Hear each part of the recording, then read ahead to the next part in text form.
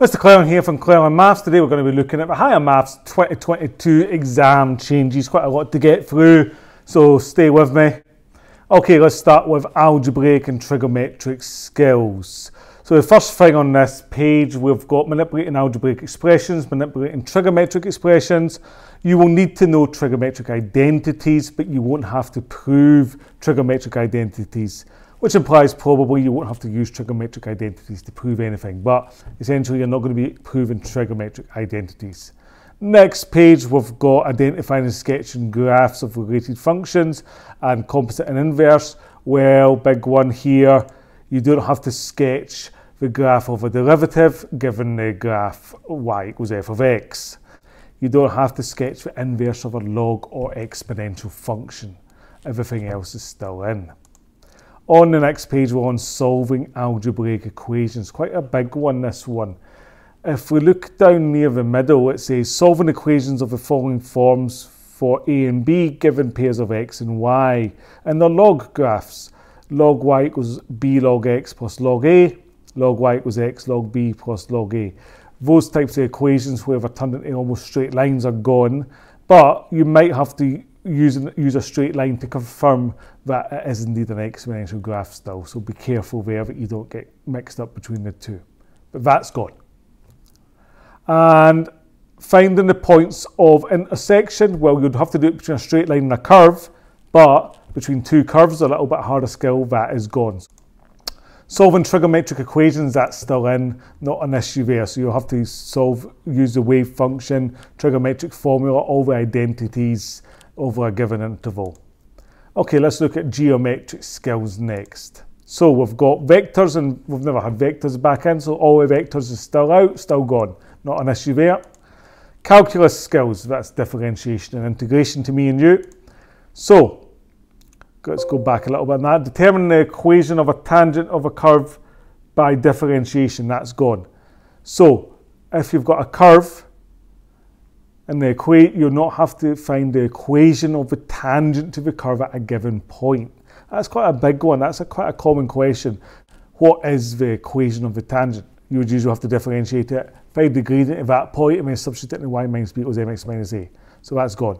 You'll still have to use the stationary points to find out if a function is increasing or decreasing, but you'll not have to sketch a graph of an algebraic function by determining stationary points and their nature. Integrating functions. If you look at our integrating functions here, we've still got to integrate x plus q to the power of n, but anything to do with trigonometry will not be integrating trig and will not be doing integration of px plus q to the n, which is quite a difficult one to do. So that's gone, that's gone, and that is gone, leaving just integration of the form x plus q to the n or solving differential equations. The next thing, differentiation, we have got anything to do with rate of change, if it mentions rate of change, it's not going to mention it in this exam. So you don't have to remember that rate of change means differentiation for this year. It's gone. Also, what's gone will be finding the area between two curves. You'll still have to find the area between a straight line and a curve, but two curves is gone. That's gone just because of rate of change. Okay, algebraic and geometric skills. So we've got all our usual straight line stuff, perpendicular lines, known that the gradient is tan theta, properties of medians, altitudes, perpendicular bisectors, equations of circles, tangents to circles, intersections of circles and line, that's all still there. The bottom bit's always been out, been out for a while, recurrence relationships. So that's the only thing on this page that I am crossing out. Okay, reasoning skills. There's nothing really there. This is just part of the normal SQA thing where you have to adapt and apply. There's nothing particular gone from there. And obviously you still need to know your symbols that might be used in any given question, natural numbers, whole numbers, integers, rational numbers, real numbers. Although you don't have to use them in your actual answers yourself. Okay, let's summarise and let's go through what's actually just in then and ignore what's out. What should you study? What should you revise? Let's go. Quite a big bit this, bear with me. This is from the Zeta Maths. Straight line, most stuff with straight lines in. You know, all your stuff from National 5 you should be skills that you already know. How to find the gradient, how to find the point of intersection between two lines.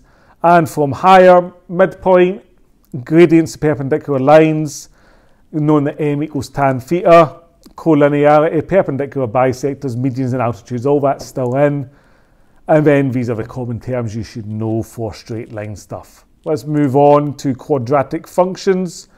Stuff from National 5 is there. You should know completed square form, factorized form, expanded form. You should be able to form completed square form or root form, find the turning point, substitute the other point to find the value of k. You should be able to solve quadratics in any which way you can. You should be able to sketch quadratics from completed square or root form. You should be able to determine the nature of the roots and use that information to state what the nature of the roots are. You should be able to solve quadratics by rearranging by, and by completing the square. You should be able to complete the square when there's a non-unitary x squared, so 2x squared, 3x squared, 5x squared. Uh, solve quadratic inequalities, and you should be able to use the discriminant. You should also be able to show that a line is a tangent to a curve. You don't need to find the equation of a tangent to a curve, but you should be able to show it is a tangent. And you should be able to know the nature of intersection between a line and a curve. Also, you should be able to find the points of intersection between a line and a curve as well. Okay, the circle, standard stuff, equation of a circle, the distance formula to find the radius, being able to find the centre and the radius and therefore the equation, all the circle stuff that you already know about is in. There's your intersection of two circles there, equation of a tangent to a circle, oh, that's an interesting one. So, although you don't have to find the equation of a tangent to a curve, a circle is not a curve, a circle is a circle. So equation of a tangent to a circle, different skill is still in, be careful there. Okay, common words for circles. Functions in the domain and range, all still there. Composite functions, inverse functions is still in, although you won't have to sketch a graph of an inverse log or exponential. Your common notation for that is there. For sets, graphs of related functions is all in. Add uh, vertical and horizontal translations, reflections, and so on. Polynomials. You'll have to factorise polynomials, synthetic division still in, solving polynomial equations, finding the remainder, finding unknown coefficients, finding the equation of a polynomial from its graph is still in. Trigonometric functions. All most, most of the trigonometric stuff from National 5 is there. Exact values you should know. Point of intersection between a graph and a line. You should know the addition formulas and how to use them and double angle formulas. The wave function's still in. You've got sketching graphs, maximum minimum values. And then we're moving into indices and, and differentiation. Increasing and decreasing functions, finding stationary points in their nature, optimization, closed intervals, basic integration still there, definite integrals, area under curves, all the usual stuff, differential equations. Chain rule is still in with differentiation. Differentiating trig, but not integrating trig. Uh, log rules, log equations, sketching related graphs, evaluating expressions using rules of logs, exponential growth and decay, and that's as we're done.